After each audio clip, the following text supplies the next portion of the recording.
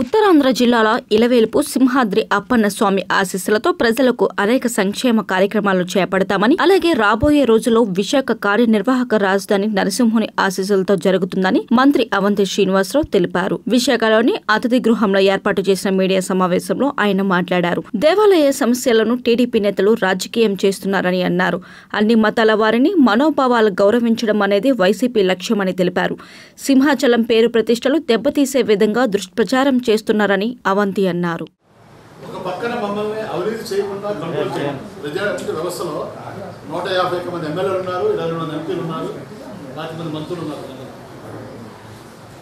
గతంలో ఎక్కడైతే జరిగిందో అవినీతి వాళ్ళ మీద చర్య తీసుకున్నట్టే చంద్రబాబు నాయుడు గారి మంత్రివర్గంలో మనుషుల్ని ఒకసారి బీసీ అంటారు ఇంకోసారి ఇంకోటి ఎక్కడ ఎవరి మీద కూడా ఎలాంటి కక్ష ఉద్దేశం జగన్మోహన్ గారు లేదు. అవినీతి జరిగిన చోట మాత్రం తప్పనిసరిగా చర్యలు తీసుకుంటారు. దోషులు ఎంత పెద్దవారని కూడా ఉపేక్షించేది లేదు. అనేది నేను చెప్పదలుచుకున్నాను. మరి తప్పనిసరిగా ఎవరైతే అవినీతి చేశారో ఎవరైతే అక్రమాలు చేశారో వాళ్ళు భయపడారు చేయని వాళ్ళు భయపడాల్సిన అవసరం లేదు. కాబట్టి చంద్రబాబు నాయుడు గారు నీతులు చెప్పడం చాలా బాగుంటుంది. నేను అనొచ్చు మీరు కూడా అప్పుడు ఉన్నారు కదా అని. నేను సాక్షులతో సహా తీసి చంద్రబాబు గారు చూపించి చూపించినప్పుడు నేను లేదమ్మా అలా నేను లేసే మనిషి కాదు.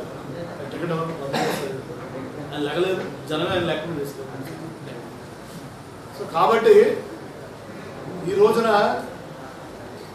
జగన్మోహన్ రెడ్డి గారు ఏది చేస్తారో చెప్తున్నారు ఎక్కడా కూడా ఎవరిని కూడా ఉపేక్షించడం అని చెప్తున్నారు ఏ డిపార్ట్మెంట్ అవినీతి చేయట్లేదు చేసిన వాళ్ళు యాక్షన్ తీసుకున్నట్టే దాని కులము మతము ప్రాంతము అంటకట్టడం వాళ్ళని మీద కక్ష సాధిస్తున్నారు చెప్పడం. అది భావ్యం కాదు. తప్పనిసరిగా ఎక్కడైతే అవినీతి జరిగిందో గతంలో వాళ్ళ